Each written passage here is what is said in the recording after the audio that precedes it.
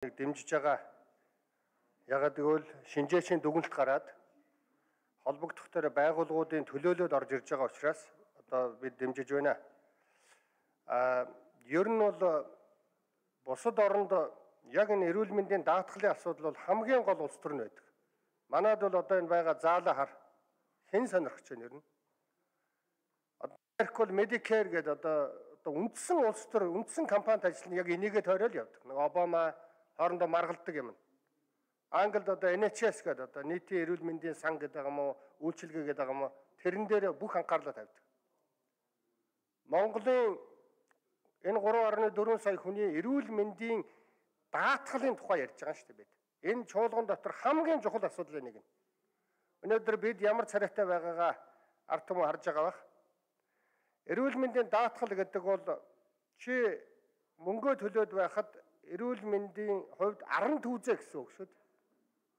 Нарийн ярих юм бол жилдээ 1.4 их найдын орлого зарлагтай сан энэ бол. 1.4 их найд. Улсын төсвийн 5% нь. Улсын төсвийн мөнгө биш шүү дээ. Энэ татварын мөнгө биш.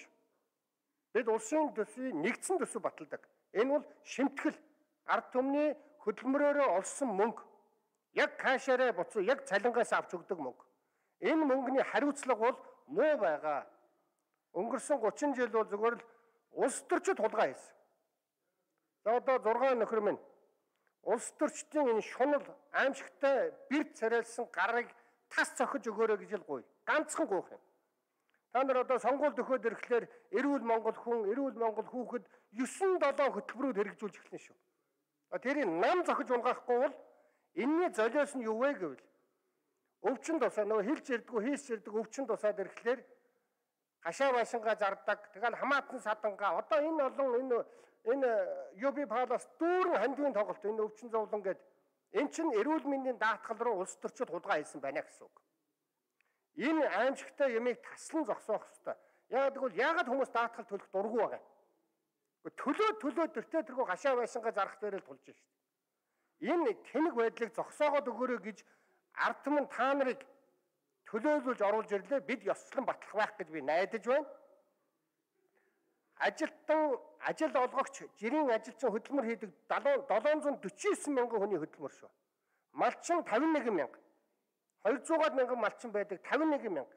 Эрүүл мэндийн даатгалд итгэхгүй байна гэсэн үг. Тэрнээс биш эрүүл мэндэд хайргүй гэсэн үг биш. Оюутан 14 мянга, хуваарь хөдөлмөр эхлэх 133 мянга итгэхгүй байна. Энэ тоо маш бага тоо. Тэгэхээр та бүхэн нэгдүгээрт бид энэ даатгалын утга учирыг гаргаараа та нар эзэдэн шүү.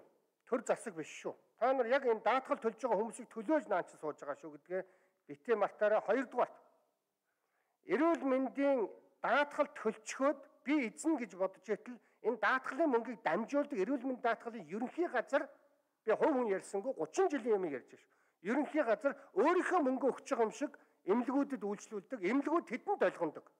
Хэн мөнгө өгөн тэр хөгжмөө захиалдаг. Үгүй гол эзэн даатгал төлөгч.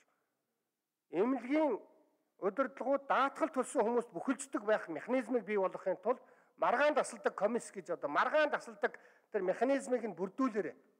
Нөгөө даатгал төлсөн мөнгө төлсөн хүн маргаан гаргадаг эрх нь хаа байна? Байхгүй. Байхгүй холоо хож хуц гэж хэлж байгаа байхгүй юу? Ингэхлээр чи яаж мөнгө төлөх юм бэ эднээс? Дараагийн гуравт нь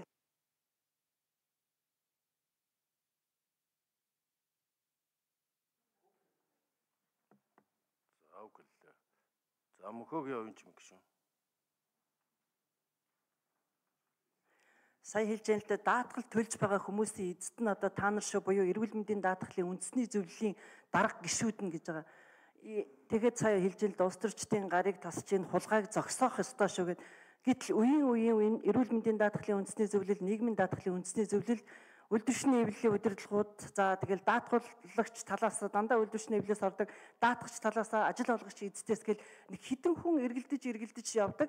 Тэгээ энэ хүмүүс маань үнэхээр тэнд эзэн болж ман чаддггүй яагаад тийм байдаг? Шалтгааны нонны өдрийг хүртэл мэдэхгүй. Тэгэл ирсэн хүмүүс нь би ста бодоо болгоод өгнө хянаад өгнө гэсэн эргээд богино алдагдал донд өнөөдөр Жишээлбэл эрүүл мэндийн даатгалын үндэсний нийгмийн даатгалын үндэсний зөвлөл 270 хэд 300 тэр бум төгрөгөөр өглөг авалгаа авч чадахгүй байж байгаамаа. Тийм учраас энэ эрүүл мэндийн даатгалын үндэсний зөвлөл, нийгмийн даатгалын үндэсний зөвлөлийн асуудлыг ер нь дарга ингэ цэгцэлж өөрчлөхгүй бол шинэ хүмүүс томилогдоод очдог байдал хуурэл байна.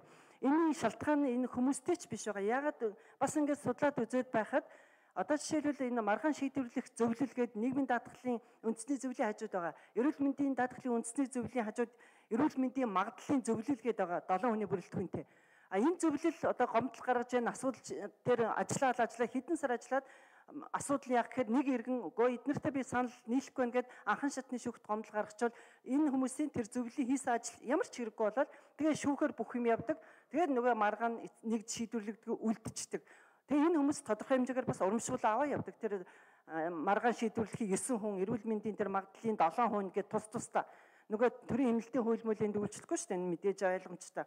А тэгэхээр нэгд энэ асуудлыг би цэгцлэх хэрэгтэй байна. А хоёрт нь одоо энэ сайдын багцад орсон мөнгө жишээлбэл бид нийгмийн одоо эрүүл мэндийн салбарын санхүүжилтийг Дотоодын нийт бүтээгдэхүүнд эзлэх хүү 3 4 хөөс хэтэрдэггүй байсныг бид энэ 2018 оноос хойш анхудаага 7.6% буюу өнөөдөр 1.4 их 80-д хүргэсэн.